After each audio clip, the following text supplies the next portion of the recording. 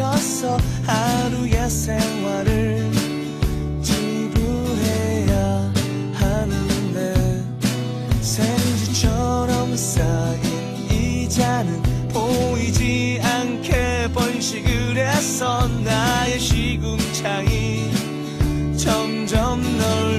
넓어지는데 담배를